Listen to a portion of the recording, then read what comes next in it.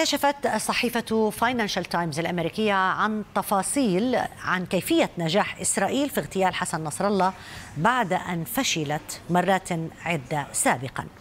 فبعد ثلاث عمليات اغتيال فاشلة لنصر الله سعت الاستخبارات الإسرائيلية على مدى 18 عاما للوصول إلى كافة بيانات حزب الله.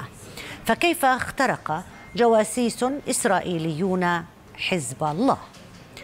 في عام 2012 كانت حرب سوريا نقطة فارقة في الحصول على كم هائل من البيانات حولهم ولكن ما هو السر وراء ذلك؟ هذه المرحلة كانت بمثابة بداية لتوسع حزب الله عبر تجنيده في عدة جبهات سورية وفي الوقت ذاته فتحت بابا أمام إسرائيل لتعقب عدد أكبر من العناصر من هنا شيئا فشيئا تمكنت إسرائيل من التوصل إلى خيوط حولهم. فكل خبر حينها كان بمثابة نبأ لا يفوت لا سيما ملصقات نعي المشاركين في القتال علما بأنها تحتوي على معلومات عنهم كالبلدة التي ينتمي إليها العنصر أين لقي حتفه وحتى مراقبة الجنازات.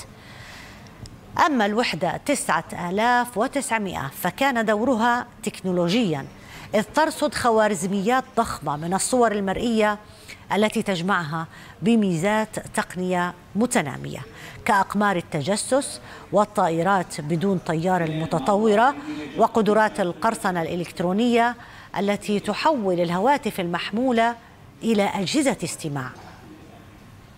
كل ذلك من أجل تحديد أي جهاز متفجر أو فتحة تهوية فوق نفق أو الإضافة المفاجئة لتعزيزات خرسانية مما يشير إلى وجود مخبأ. بمجرد أن تتعرف على هوية العناصر تراقب الاستخبارات تحركاتهم اليومية لتشمل أدق التفاصيل عن حياتهم وتتعرف عليهم من خلال تسجيلات صوتية أو حتى من بث كاميرا مخترقة قد يمر أحد العناصر إلى جانبها.